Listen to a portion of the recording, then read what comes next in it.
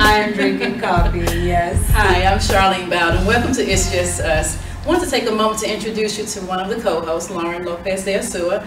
Lauren and I met through Sam. Yes. And um, I was so impressed when I read Lauren's resume and got to know her a little bit better because she's doing so much in the world. She's a mom, she's a wife, she's an entrepreneur.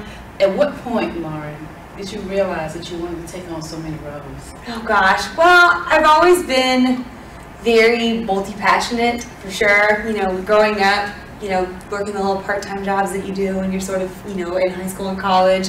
I just wanted to do everything. I was like, I wonder what it would be like to work at a bakery. So I helped open a French bakery, and like, I wonder what it would be like to work at a coffee shop. So I worked at a coffee shop, worked at the police department. I've worked so many different things just because I was curious. Yeah.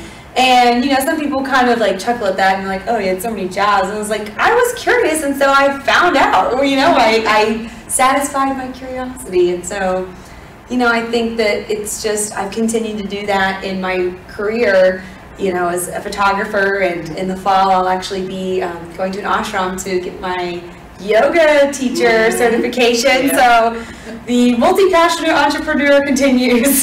So somewhere in the midst of all that, then a talk show opportunity shows up. Yeah, very unexpected. Just Yeah. like I was so sure that Sam was asking me to come and photograph Mhm. you all, which makes sense. She's like, no, no, no, I want you to be on the show. And I'm like, but why? like, what? Like, oh, you know, it'll be great. It's like, oh, well, you know, I'll try anything once. Yeah. And I just, you know, I just fell in love with the dynamic that you all had and that we kind of had together. It's Mhm. just, it's literally like meeting girls for coffee, you know, just going with the girls. And it's quite, you know, it, I feel so spoiled. I'm like, I'm going to go work, but really I'm going to hang out, you know? like, well, we're not having fun, you know, we're really not. Exactly. So, yeah.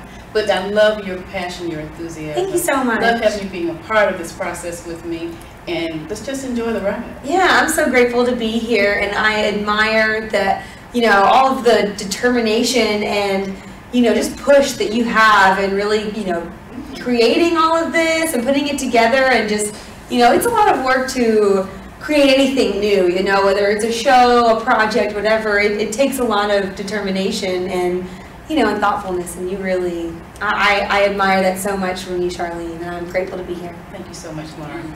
Well, we look forward to some more good times, and thank you so much for joining us. It's just us. We'll see you next time. Yay!